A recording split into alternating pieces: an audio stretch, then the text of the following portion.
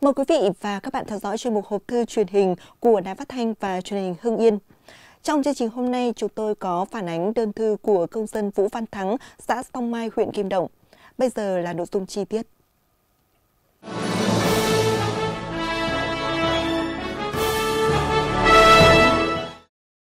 Thưa quý vị và các bạn, Ban biên tập hộp thư có nhận được đơn thư của công dân Vũ Văn Thắng, xã Song Mai, huyện Kim Động.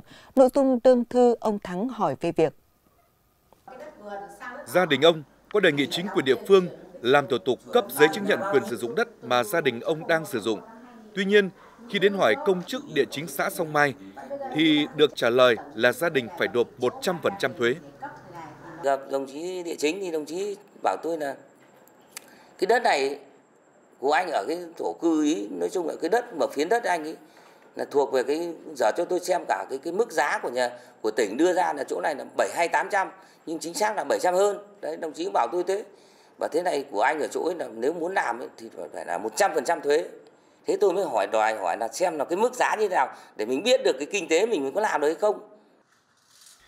Theo dấu đơn thư phóng viên chuyên mục hộp thư đã liên hệ và làm việc với đại diện chính quyền địa phương là ông Huỳnh Văn Tuyên, công chức địa chính và ông Hà Văn Hải, chủ tịch Ủy ban nhân dân xã Song Mai, huyện Kim Động để tìm hiểu sự việc. Tại buổi làm việc, phóng viên được cung cấp tài liệu quản lý đất trên địa bàn xã và theo bản đồ 299 năm 1987.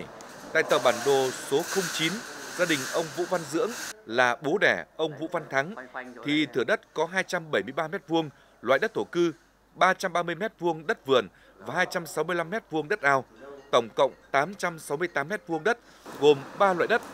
Theo quy định của pháp luật về đất đai, ông Huỳnh Văn Tuyên, công chức địa chính xã Sông Mai cho biết Hiện trạng ờ, cái thửa đất này thì có một phần là diện tích đất vườn và diện tích đất ao và diện tích đất của gia đình anh Thắng là tự ờ, lấn chiếm ờ, sử dụng nên tổng diện tích là 489 mét vuông. Loại đất này mà anh Thắng mà anh muốn ờ, cấp giấy chứng nhận quyền đất thì nó liên quan đến cái việc là anh Thắng là phải chuyển mục đích sử dụng đất từ loại đất ao sang đất ở và một phần đất lấn chiếm thì phải để nộp tiền sử dụng đất dôi dư hiện nay là anh thắng là anh ấy thửa ở cái thửa đất này là ừ, trên cái diện tích đất ao và đất vườn của bố anh ấy để lại. Bố anh ấy là ông ờ, vũ văn dưỡng và bà bùi thị chất. Hiện nay là hai ông bà đã mất. Nếu muốn làm được thì ờ, anh ấy phải ờ, họp gia đình thống nhất về phân chia di sản thừa kế của bố mẹ để lại.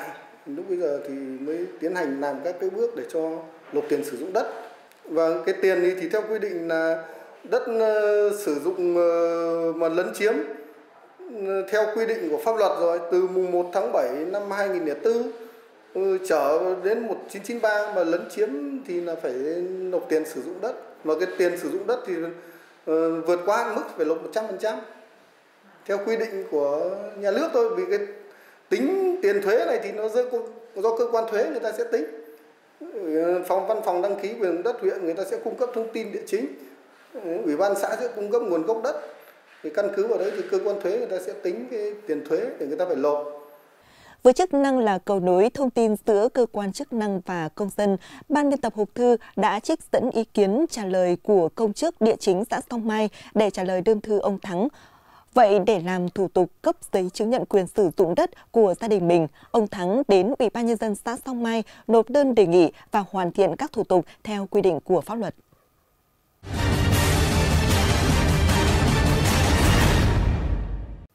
Thưa quý vị và các bạn, tuần qua Ban biên tập hộp thư có nhận được đơn thư của những công dân có tên sau gửi đến. Đó là đơn thư của công dân Phạm Ngọc Liễu, xã Nhật Quang, huyện Phù Cử, nội dung đơn thư hỏi về chế độ hương khói với thân nhân liệt sĩ. Đơn thư của công dân Nguyễn Văn Sớ, thôn An Đỗ, xã Bắc Sơn, huyện Ân Thi, hỏi về việc công dân chưa được hưởng chế độ huân huy chương bằng khen trong kháng chiến chống Pháp.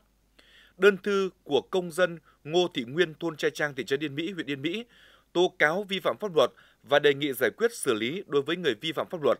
Đơn thư của ông Dương Đình Ép, thôn Tam Trạch, xã Trung Hòa, huyện Yên Mỹ, đề nghị hoãn thi hành án. Quý vị và các bạn thân mến, sau khi nhận được đơn thư của công dân, Ban biên tập hộp thư sẽ xem xét và có phiếu truyền đơn đến các cơ quan nhà nước có thẩm quyền. Khi nào nhận được ý kiến phúc đáp, chúng tôi sẽ thông tin trên sóng của đài để quý vị và các bạn được biết. Chuyên mục hộp thư truyền hình của Đài Phát Thanh và truyền hình Hưng Yên xin được khép lại tại đây. Cảm ơn quý vị và các bạn đã dành thời gian theo dõi. Thân ái chào tạm biệt.